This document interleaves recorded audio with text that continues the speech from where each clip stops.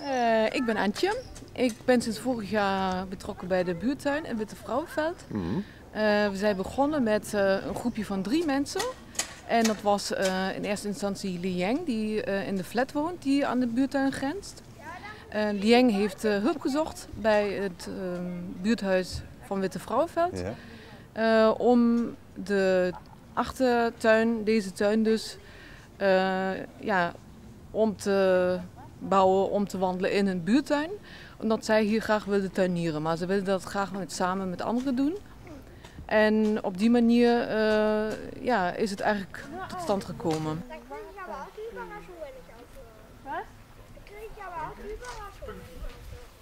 Eh, even kijken, wij zijn met z'n drieën, eh, zes, zeven mensen zoiets. Oké, en die zijn, hoe zijn die binnengekomen? Nou ja, we zijn Via met via? Of, Ja, via via, eigenlijk via het buurthuis ook. Eh, En nou ja, eh, sommige mensen zijn gewoon binnengelopen. Eh, sommige mensen zijn via de, het buurtcafé ook, ja, hebben ze kennis gemaakt met het Mhm. project. En hebben ze gezegd van ja, ik wil ook graag meedoen. En hebben ze meteen mee kunnen doen.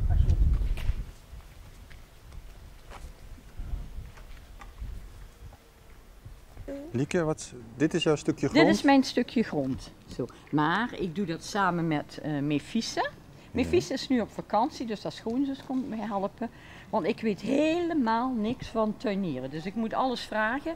Ik durf ook geen onkruid uit te Want doen. je weet niet het verschil. Want ik weet het verschil niet wat... eh, En wat heb je hier in je hand dan? Nou, ik krijg dat net van haar, maar zij moet me nog vertellen wat het is. Want ik heb nog een heel klein stukje hier. Heb ik nog een klein, waar nog niks staat. Ah, Oké. Die.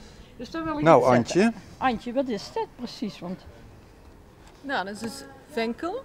Die heb ik thuis opgekweekt in dat kleine bakje.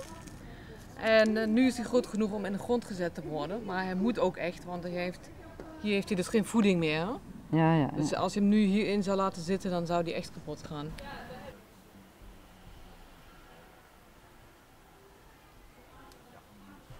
Ja, en ik spreek nu eh, de achterbuurman van de buurtuin. Ja. En je hebt hier zelf ook een eh, tuin. Wie ben je eigenlijk? Eh, ik- mijn naam is Thijs Mhm.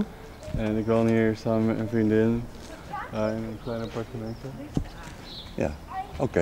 En je bent student, heb ik Ja. al begrepen van je, van je vriendin. Ja. Ja, precies. En ehm, ja, wat kun jij eigenlijk? Hier in de tuin? Ja, of gewoon zelf. wat kun jij? Dat is, wat voor skills heb je? ja, vers- verschillende skills. Oké, eh, vertel. ik. Eh, ik hou van sporten, Eh, ik hou van muziek maken, ik speel Mhm. gitaar, ik studeer psychologie. Oké. Dus wat moet ik nou doen? Gewoon een gaatje, dit aan de potje. Oh, dat is geen potje. Gewoon deze grond. Ja, je moet hem uitlepelen daar. Nou, wil je Eerst- me eentje voordoen? Dit Ja. stukje hier. Ja. Eh, nou ja, we hebben een beperking wat de eh, ruimte betreft. Mhm. En ook eh, waar we ons een beetje zorgen over maken is het water. Want het is nu al heel droog. We hebben wel een heel grote container, maar Mhm. die is nu al bijna leeg. En het is begin van de zomer. Dus op die manier qua mogelijkheden, qua ruimte is er misschien nog wel een plek. Ben je Maar- alleen maar afhankelijk van hemelwater? Ja. Of, ja. We hebben geen Oh, aansluiting. En we zijn aan het zoeken naar andere mogelijkheden, maar tot nu toe hebben we nog niks. Dus eh, we kunnen op die manier ook niks beloven. Dus mensen die iets weten, die een lumineus idee hebben, kunnen zich melden. Die moeten zich absoluut melden.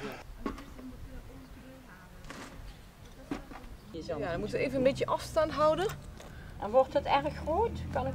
Eh, ik denk dat het ongeveer zo groot wordt. Dat kan Ik ga boven. qua dikte omdat ik niet weet hoe ver ik het... Dat hangt af van het weer, van het water en van jouw kunsten als eh, Nou ja, die kunsten die laten we maar even... tuinvlinder.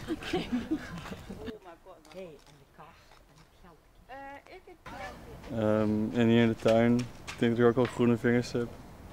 Tuinskills. Tuinskills, want eh, wat heb je hier allemaal in je tuintje staan? Want je hebt hier dus ook een stukje. Ehm, ja, we hebben aardbeien, broccoli, wortels, sla, courgette, eh, tomaten, aubergine.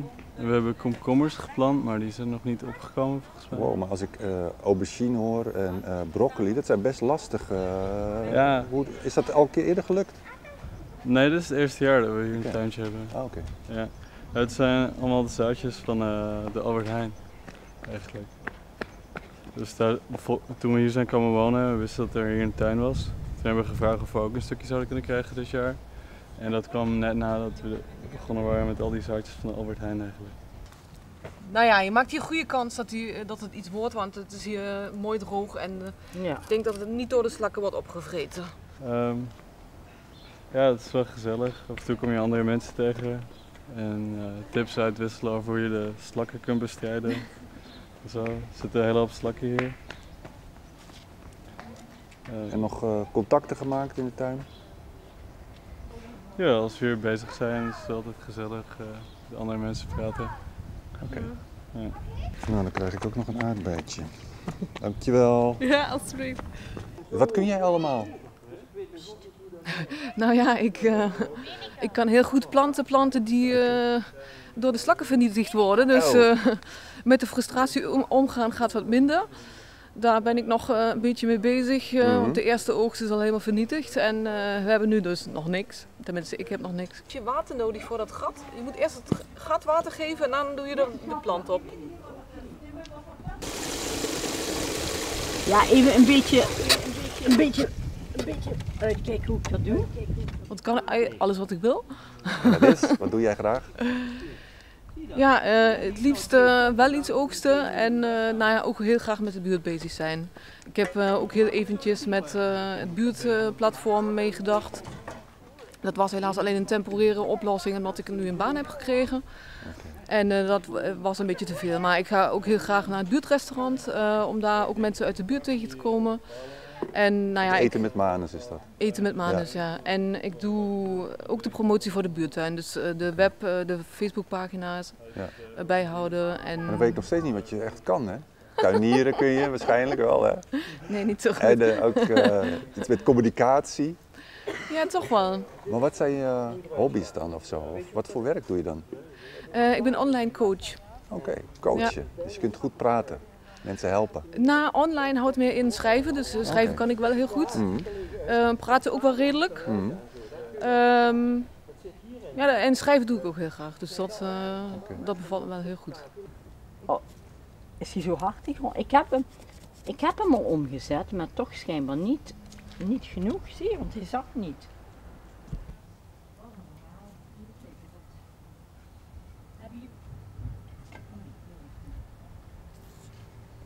Dus wat is je het- advies als, eh, als coach, zeg maar, om eh, ja, met de buren in contact te komen? Nou, als je een idee hebt ergens over, als je ergens mee ontevreden bent, als je een idee hebt voor verbetering, vertel het gewoon. Vertel het aan je buren en zet het op Facebook. En nou ja, ik weet zeker dat je daar eh, ook een antwoord op zou krijgen. Is dat je trots, Lieke? Onze trots, hè? Onze van de Ja. appeltjes. Dit zijn gemeenschappelijke appelboomjes. En hier nog, nog een beetje dikker. Oh, ik vind het geweldig, echt. Heb ik nooit gedaan, getuineerd. Ik, ik heb er helemaal, helemaal geen groene vingers. En nu vind ik, ik vind het zo leuk dat dit er is en dat ik dit...